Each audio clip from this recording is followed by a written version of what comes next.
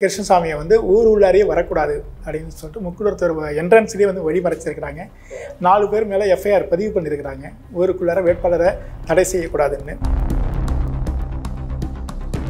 டிவிலிபுத்தூர் வந்து தாமரைக்கணி காலத்திலேருந்து அதிமுக கோட்டையாக விளங்கிய தொகுதி தான் ஆனால் அதிமுக கோட்டையாக இருந்தாலும் அவங்க அதிமுகவுக்கு ஓட்டு போடுறோன்னு சொல்கிறது ஒன்றுபட்ட அதிமுக அது வந்து இப்போ பிரியுது இல்லை.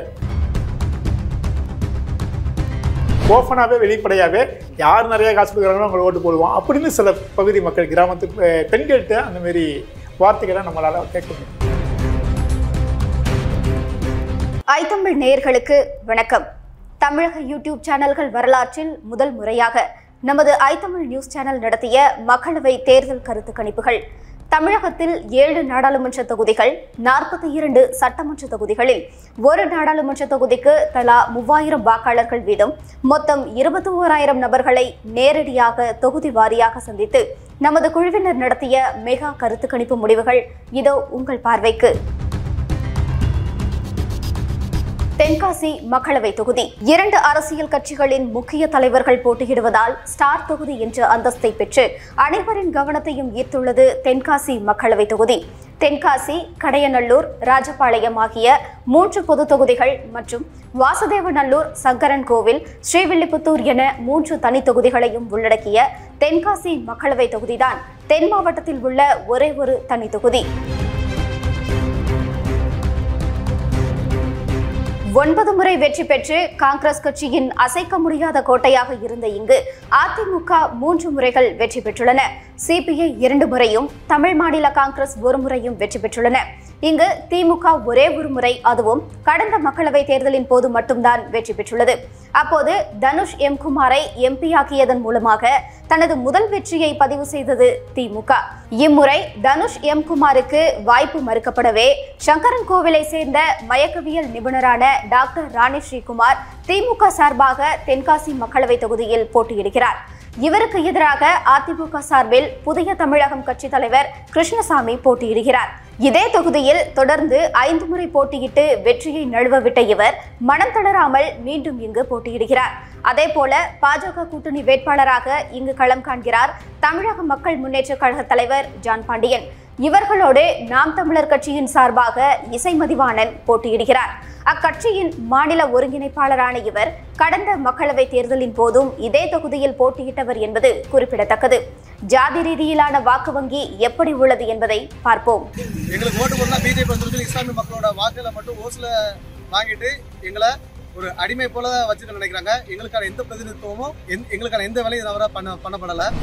கடந்த எம்பி வந்து எதுவுமே செய்யல. அவர் இருந்தாருன்னா கூட தெரியாது.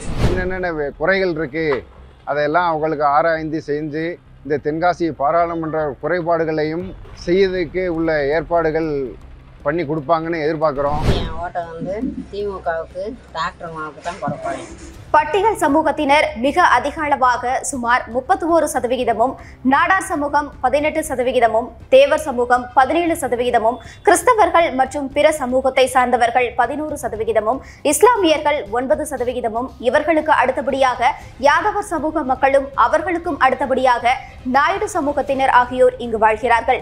இங்கு யார் யாருக்கு இடையே கடுமையான போட்டி என பார்க்கும்போது சுயேட்சைகள் உட்பட மொத்தம் பதினைந்து பேர் களத்தில் இருந்தாலும் திமுக அதிமுக பாஜக நாம் தமிழர் கட்சி வேட்பாளர்கள் முக்கிய போட்டியாளர்களாக உள்ளனர்.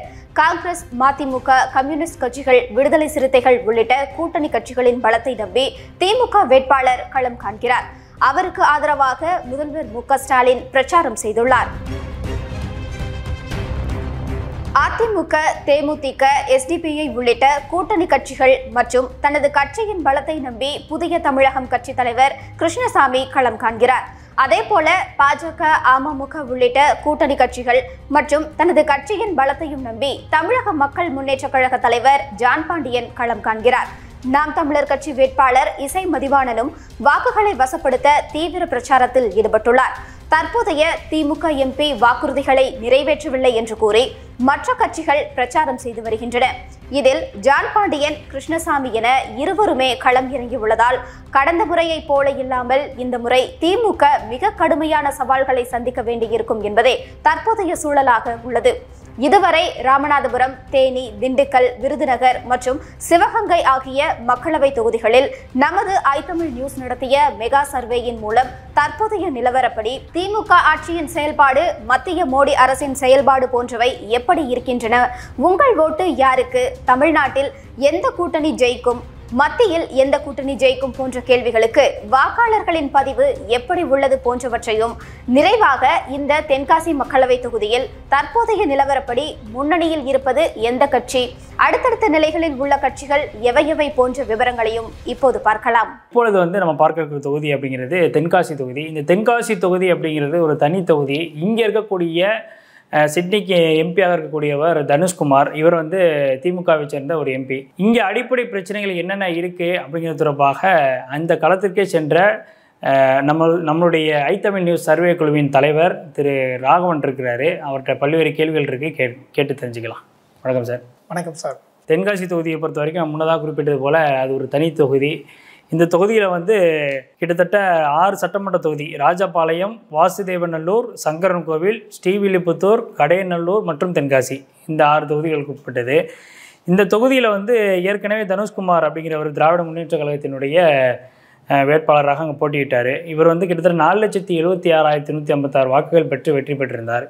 அடுத்தபட்சம் அடுத்த கட்டத்தில் வந்து அதிமுகவினுடைய வேட்பாளர் கிருஷ்ணசாமி மூணு லட்சத்தி ஐம்பத்தஞ்சாயிரத்தி முந்நூற்றி எண்பத்தொம்போது வாக்குகள் பெற்றிருந்தார். இப்போ வந்து திரும்ப மீண்டும் வந்து திமுக சார்பில் ராணி ஸ்ரீகுமார் அப்படின்னு சொல்லிட்டு போட்டிடுறாங்க. அதே மாதிரி அதிமுக கூட்டணியில் கிருஷ்ணசாமி போட்டிடுறாரு. பிஜேபி அலையின் சார்பில் ஜான் பாண்டியன் போட்டிடுறாரு. மதிவாணன் நாம் தமிழர் கட்சியிலேருந்து போட்டிடுறாரு. இப்போ அங்கே சொல்லக்கூடிய அடிப்படை பிரச்சனைகளாக வந்து மக்கள் சொல்லுவாங்கல்ல முதற்கட்டமாக அதை நம்ம பார்த்துடலாம். என்ன பிரச்சனை சொல்கிறாங்க அடிப்படை ப்ராப்ளமும் தென்காசியை பொறுத்த வரைக்கும் தென்காசியை பொறுத்த வரைக்கும் அங்கே பிரதானமாக இருக்கிறது கைத்தறி நெசவு தொழிற்சாலை தான் அதிகம். அந்த தொழிலாளர்களுடைய வாழ்வாதாரம் அடிக்கடி நூல் விலை உயர்வு இல்லது ஊதியம் நிர்ணயம் செய்யப்படாமல் அவங்களுக்கு சரியான ஊதியம் கிடைக்காம எப்படியும் வருஷத்துக்கு ஒரு நாலு போராட்டம் அவங்க தொடர்ந்து பண்ணிக்கிட்டு தான் இருக்காங்களே ஒழிய அவங்களுக்கு ஒரு நிரந்தரமான தீர்வு கொடுக்கப்படலை அவங்களுடைய நெசவு பொருட்களை வந்து அதிக விலை கொடுத்து இல்லை உரிய விலை கொடுத்து வாங்கி அதை கொள்வதற்கு அரசு முன்வரலை அப்படிங்கிற ஒரு தாக்கம் அந்த பகுதி மக்கள்கிட்ட தொகுதி மக்கள்கிட்ட நிறையவே இருக்குது விவசாயம் சார்ந்த தொழில் அப்படின்னு பார்த்தீங்கன்னா குறிப்பாக சவுத்திலேயே வந்து அதிகமாக எலுமிச்சை விளையிறது சங்கரங்கோயில் தொகுதியில். அந்த எலுமிச்சம் பழத்திற்கான உரிய விலை இல்லது ஸ்டோரேஜ் பாயிண்ட் இல்லது மதிப்பு கூட்ட பொருளாக விற்பதற்கான ஒரு தொழிற்சாலை அப்படிங்கிறது அந்த பகுதியில் இல்லை. அதை கொண்டு வர யாரும் முயற்சிக்கலை. அப்படின்னு பொதுவான ஒரு அபிப்பிராயம் இருக்குது இந்த தொகுதியை பொறுத்த வரைக்கும் தேவேந்திரபுர வேளாளர் வாக்குகள் நம்பி டாக்டர் கிருஷ்ணசாமியோ அல்லது திரு ஜான் பாண்டியனோ இருவருமே களத்தில் நின்றாலும் கூட அதற்கு இணையான ஓட்டுகள் வந்து முக்குளத்தூர் வாக்குகள் உண்டு. அந்த முக்குளத்தூர் வாக்குகள் இவங்க ரெண்டு பேருக்கும் போய் கிடைப்பதற்கான வாய்ப்புகள் கம்மி. குறைவு. தான் நேற்று கூட ஒரு ஊரில் கிருஷ்ணசாமியை வந்து ஊர் உள்ளாரையே வரக்கூடாது அப்படின்னு சொல்லிட்டு முக்குளத்தூர் என்ட்ரன்ஸ்லேயே வந்து வழிமறைச்சிருக்கிறாங்க நாலு பேர் மேலே எஃப்ஐஆர் பதிவு பண்ணியிருக்கிறாங்க ஊருக்குள்ளார வேட்பாளரை தடை செய்யக்கூடாதுன்னு. அந்த அளவுக்கு ஒரு ஜாதி வெறி பிடித்த ஒரு ஒரு நே தொகுதியிலே அந்த தொகுதியில் சிலர் இருக்கிறாங்க. எல்லாரையும் சொல்ல முடியாது. சிலர் இருக்கிறாங்க. அந்த மாரி உள்ள உள்ளவங்க சாதிய உணர்வுகள் அதிகமாக இருக்கு மக்கள் அதிகமாக இருக்கிற ஒரு தொகுதியாக அது இருக்குது தேவேந்திர குல வேளாளர் வாக்குகளை வந்து சரிசமமாக இல்லது சற்றேற குறைய முன்ன பின்ன ஜான் பாண்டியனும் திரு டாக்டர் கிருஷ்ணசாமியும் சரிபாகமாக அதை பங்கிட்டாலும் கூட அதற்கு இணையான ஓட்டுகள் முக்குளத்தோர் வாக்குகள் இருக்கு. அந்த முக்குளத்தோர் வாக்குகள் வந்து கொஞ்சம் ஜாதி உணர்வு அதிகம் உள்ள முக்குளத்தோர் அந்த பகுதியில் இருக்கிறாங்க. இன்னும் சொல்ல போனால் இந்த வேட்பாளர்களை வந்து இப்போ இதில் அந்த பிஜேபி கூட்டணியில் ஓபிஎஸ் தினகரன் உள்ளிட்டோருக்கு மிகப்பெரிய ஓட்டு வங்கி அங்கே இருக்குது அவங்கள கூட என்ன பண்ணுறாங்க நீங்கள் இந்த வேட்பாளர்களை அழைச்சிட்டு உள்ளார வராதீங்க நீங்கள் வேணால் வந்துட்டு போங்க அப்படிங்கிற அளவில் தான் இன்றைக்கும் இருக்கிறாங்க. சமீபத்தில் கூட பிரச்சாரத்திற்காக ஒரு ஊருக்குள்ளார போகும்போது கிருஷ்ணசாமி ஊர் எல்லையிலேயே எங்கள் ஊர் உள்ளார வந்து ஓட்டு கேட்கக்கூடாதுன்னு சொல்லிட்டு சில பேர் வழிமுறைத்து அவங்க மேலே வழக்கு பதிவு பண்ணியிருக்கிறாங்க.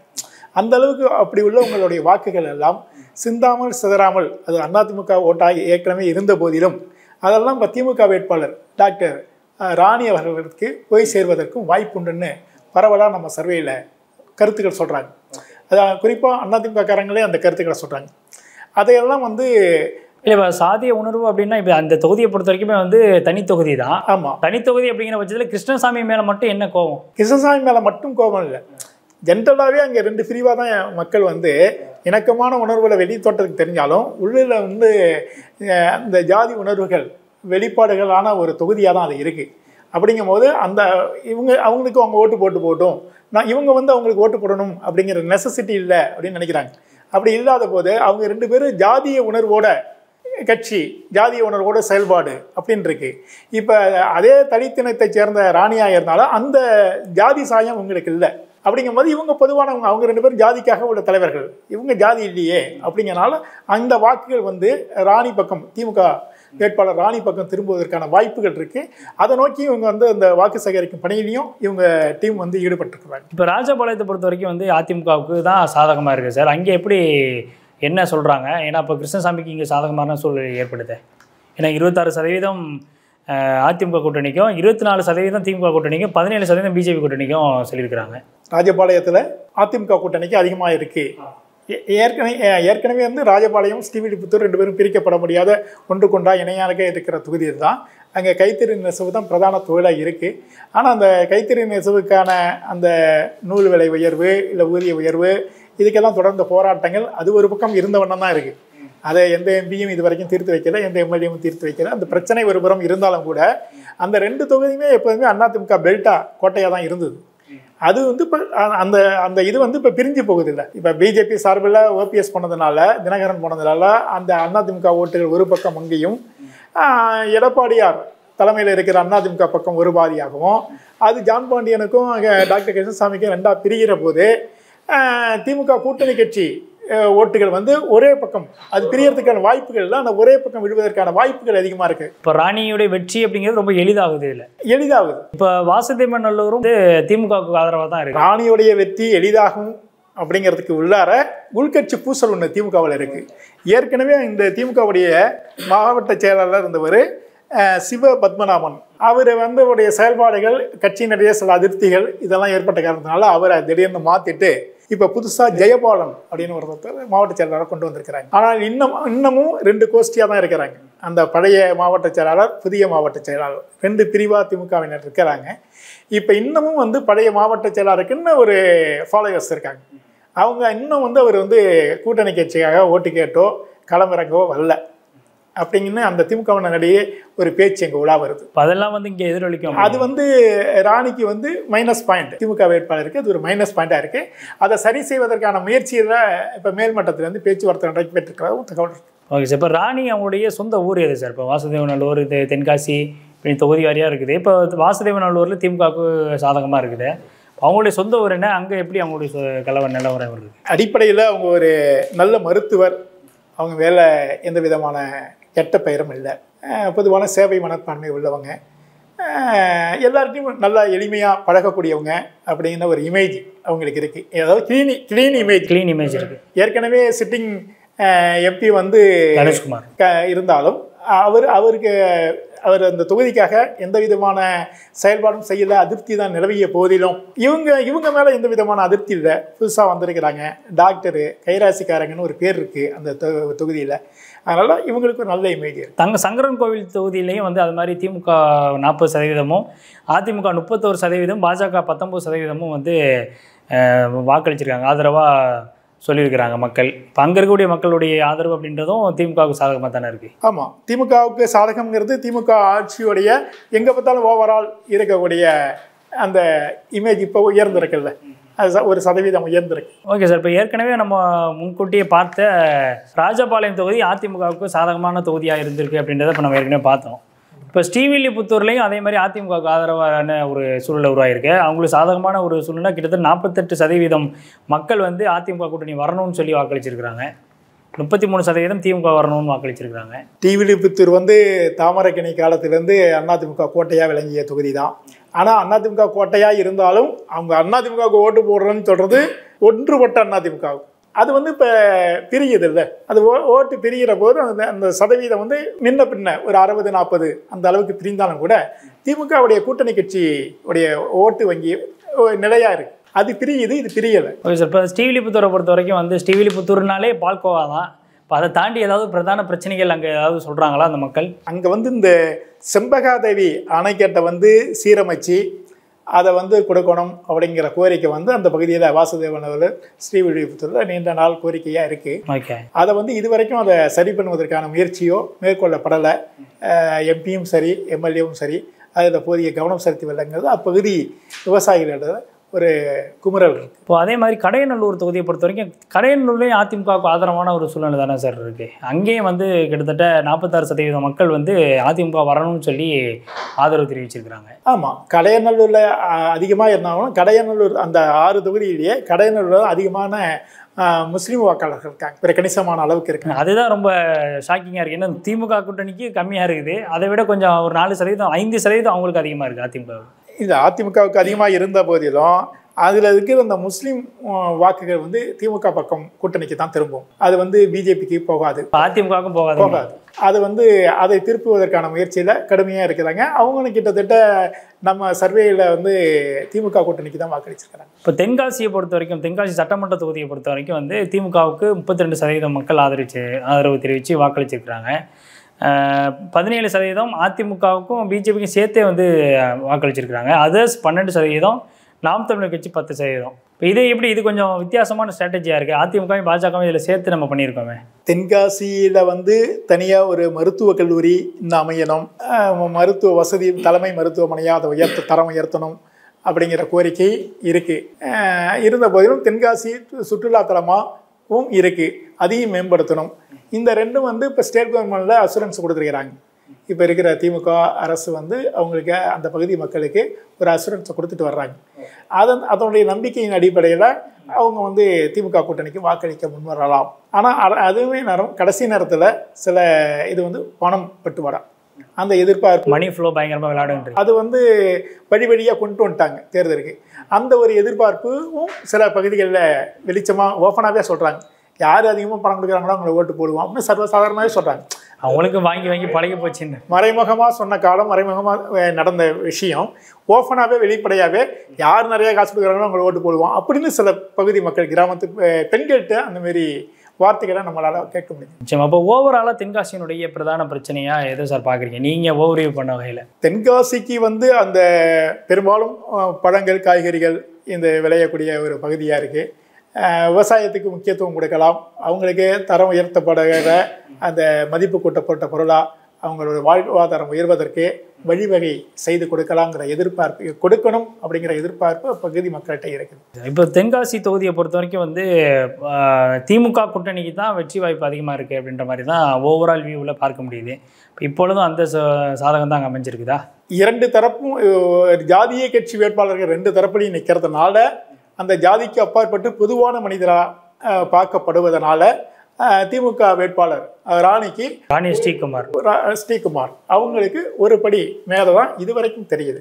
அது இந்த தேர்தலை நோக்கி இன்னும் சில நாட்கள் இருக்கு. அதை நோக்கி போகும்போது மாற்றங்கள் ஏற்படலாம். Okay sir. தென்காசி தொகுதி சம்மந்தமாக பல்வேறு விஷயங்களை வந்து பகிர்ந்துக்கிட்டீங்க மற்றும் ஒரு தொகுதியோட உங்களை சந்திக்கிறேன். வணக்கம் வணக்கம் சார். ராஜபாளையம் சட்டமன்ற தொகுதி தென்னை மாம்பழ விவசாயத்திற்கும் நூற்பாலைகளுக்கும் பெயர் பெற்ற இந்த தொகுதி. தொடர்ந்து இரண்டாவது முறையாக திமுகவை சேர்ந்த சா. தங்கபாண்டியன் எம்எல்ஏ வசம் இருக்கிறது. இங்கு மேற்கொள்ளப்பட்ட கருத்து கணிப்பில் எம்பி தனுஷ்குமாரின் செயல்பாட்டை பொறுத்தவரை பதினோரு சதவிகித வாக்காளர்கள் சிறப்பு எனவும் அறுபது சதவிகித வாக்காளர்கள் சுமார் எனவும் சிறப்பாக செயல்படுவதாக இருபத்தி ஒன்பது சதவிகித வாக்காளர்களும் தெரிவித்துள்ளனர். இங்கு அதிமுகவுக்கு முப்பத்தி எட்டு சதவிகித வாக்குகளும் திமுகவிற்கு முப்பத்தி ஐந்து சதவிகிதம் மற்றும் பாஜகவிற்கு இருபத்தி ஏழு சதவிகித வாக்காளர்களும் நமது கருத்து கணிப்பில் பதிவு செய்துள்ளனர். வாசுதேவநல்லூர் சட்டமன்ற தொகுதி. ஆன்மீக தலங்களையும் வனம் அருவி ஆறு ஆகியவற்றை கொண்ட சுற்றுலா தலங்களையும் தன்னகத்தை கொண்ட வாசுதேவநல்லூர் தொகுதியின் மதிமுக எம்எல்ஏவாக திருமலைக்குமார் உள்ளார். தனுஷ்குமார் எம்பியின் செயல்பாட்டை பொறுத்தவரை இருபத்தி எட்டு சதவிகித வாக்காளர்கள் சிறப்பு என்றும் ஐம்பத்து ஆறு சதவிகித வாக்காளர்கள் சுமார் என்றும் பதினாறு சதவிகித வாக்காளர்கள் மோசமாக உள்ளதாகவும் தெரிவித்துள்ளனர். இங்கு திமுகவிற்கு நாற்பது சதவிகித வாக்குகளும் அதிமுகவுக்கு இருபத்தி எட்டு சதவிகித வாக்குகளும் பாஜகவிற்கு பத்தொன்பது சதவிகித வாக்குகளும் நாம் தமிழர் கட்சிக்கு பதிமூன்று சதவிகித வாக்குகளும் நமது கருத்து கணிப்பின் போது பதிவாகியுள்ளன. சங்கரன் கோவில் சட்டமன்ற தொகுதி. நெசவு தொழிலுக்கு பெயர் பெற்ற சங்கரன் கோவில் தொகுதி தற்போது திமுக எம்எல்ஏ இ ராஜாவசம் உள்ளது. தற்போது எம்பியாக உள்ள தனுஷ் எம் குமாரின் செயல்பாடு குறித்து இங்கு வாக்காளர்களின் பதிவுகளை பார்க்கும்போது பதினைந்து சதவிகித வாக்காளர்கள் சிறப்பு எனவும் இருபத்தி ஆறு சதவிகித வாக்காளர்கள் சுமார் எனவும் ஐம்பத்து ஒன்பது சதவிகித வாக்காளர்கள் மோசம் என்பதாகவும் தங்கள் கருத்துக்களை பதிவு செய்துள்ளனர். இங்கு திமுகவுக்கு நாற்பத்தி நான்கு சதவிகிதமும் அதிமுகவுக்கு முப்பத்தைந்து சதவிகித வாக்குகளும் பாரதிய ஜனதா கட்சிக்கு இருபத்தி ஓரு சதவிகித வாக்குகளும் பதிவாகியுள்ளன. ஸ்ரீவில்லிபுத்தூர் சட்டமன்ற தொகுதி. ஆண்டான் கோவிலாலும் பால்கோவாவாலும் பெயர் பெற்ற ஸ்ரீவில்லிபுத்தூர் தொகுதியில் தற்போது அதிமுகவை சேர்ந்த மான்ராஜ் சட்டமன்ற உறுப்பினராக உள்ளார். எம்பியின் செயல்பாட்டை பொறுத்தவரை நாற்பது சதவிகித வாக்காளர்கள் சிறப்பாக இருப்பதாகவும் நாற்பத்தி ஒன்பது சதவிகித வாக்காளர்கள் சுமார் எனவும் பதினோரு சதவிகித வாக்காளர்கள் மோசம் என்றும் தெரிவித்துள்ளனர். ஸ்ரீவில்லிபுத்தூர் சட்டமன்ற தொகுதியில் அதிமுகவுக்கு ஐம்பத்தி ஒரு சதவிகித வாக்குகளும் திமுகவிற்கு முப்பத்தைந்து சதவிகித வாக்குகளும் நாம் தமிழர் கட்சிக்கு பதினான்கு சதவிகித வாக்குகளும் பதிவாகியுள்ளன. கடையநல்லூர் சட்டமன்ற தொகுதி தற்போது அதிமுகவின் சே. கிருஷ்ணமுரளி எம்எல்ஏவாக இருந்து வருகிறார். தொகுதி எம்பி தனுஷ்குமாரின் கடந்த கால செயல்பாட்டை பொறுத்தவரை வாக்காளர்களில் முப்பத்தி ஒன்பது சதவிகிதம் பேர் சிறப்பாக இருப்பதாகவும் சுமார் என்று இருபத்தி ஏழு சதவிகித வாக்காளர்களும் முப்பத்தி நான்கு சதவிகித வாக்காளர்கள் மோசம் என்றும் தெரிவித்துள்ளனர். கடையநல்லூர் சட்டமன்ற தொகுதியில் அதிமுகவிற்கு நாற்பத்தி எட்டு சதவிகித வாக்குகளும் திமுகவிற்கு நாற்பத்தி மூன்று சதவிகித வாக்குகளும் மற்றும் பாஜகவிற்கு ஒன்பது சதவிகித வாக்குகளும் மக்கள் பதிவு செய்துள்ளனர். தென்காசி சட்டமன்ற தொகுதி குற்றாலம் அருவி சுற்றுலா தலமும் வணிக நிறுவனங்களும் நிறைந்த தென்காசி தொகுதியின் தற்போதைய எம்எல்ஏவாக இருப்பவர் காங்கிரஸ் கட்சியை சேர்ந்த பழனி நாடார். தொகுதி எம்பியின் செயல்பாட்டை பொறுத்தவரை இருபத்தி ஒன்பது பேர் சிறப்பு என்றும் முப்பத்தி ஆறு சதவிகித வாக்காளர்கள் சுமார் எனவும் முப்பத்தைந்து சதவிகித வாக்காளர்கள் மோசம் என்றும் இங்கு திமுகவிற்கு முப்பத்தி நான்கு சதவிகிதமும் அதிமுகவிற்கு இருபது சதவிகிதமும் பாஜகவிற்கு இருபது சதவிகிதமும் நாம் தமிழர் கட்சிக்கு பன்னிரண்டு சதவிகிதமும் மற்றவை பதினான்கு சதவிகித வாக்காளர்களும் தங்களுடைய கருத்துக்களை நமது கருத்து கணிப்பு படிவத்தில் பதிவு செய்துள்ளனர். ஒட்டுமொத்தமாக தென்காசி மக்களவை தொகுதியை பொறுத்தவரை மருத்துவக் கல்லூரி இல்லாதது பிரதான பிரச்சனையாக உள்ளது. இதேபோல காய்கனிகளை பாதுகாக்க குளிரூட்டப்பட்ட குடோன் அமைக்காதது செண்பகவள்ளி நீர்த்தேக்கம் சீரமைக்கப்படாதது மற்றும் சாம்பல் நிற அணில்கள் சரணாலயம் அமைக்க வேண்டும் போன்ற கோரிக்கைகளும் தென்காசி பாராளுமன்ற தொகுதிக்கு உட்பட்ட அனைத்து சட்டமன்ற தொகுதிகளிலும் பொதுவானவையாக உள்ளன. ஆக தென்காசி மக்களவை தொகுதிக்கு உட்பட்ட அனைத்து சட்டமன்ற தொகுதிகளிலும் பதிவான வாக்குகளின் அடிப்படையில் பார்க்கும்போது ஐத்தமிழ் நியூஸ் குழு மேற்கொண்ட சர்வேயில் ஒட்டுமொத்தமாக திமுக முப்பத்தி ஏழு சதவிகித வாக்காளர்களின் ஆதரவுடன் முதலிடத்தில் உள்ளது. அடுத்தபடியாக முப்பத்தி மூன்று சதவிகித வாக்காளர்கள் ஆதரவுடன் அதிமுக இரண்டாவது இடத்திலும் பாஜக மற்றும் நாம் தமிழர் கட்சிகள் தலா பதினைந்து சதவிகித ஆதரவுடன் மூன்றாவது இடத்தையும் பங்கிட்டுக் கொண்டுள்ளன. அதன்படி தென் மாவட்ட மக்களவை தொகுதிகளில் நமது ஐத்தமிழ் நியூஸ் நடத்திய மெகா கருத்து கணிப்பில் பத்து நான்கு இரண்டாயிரத்து இருபத்தி நான்கு நிலவரப்படி முன்னிலையில் இருக்கிறார் திமுகவை சேர்ந்த வேட்பாளரான டாக்டர் ராணி ஸ்ரீகுமார்.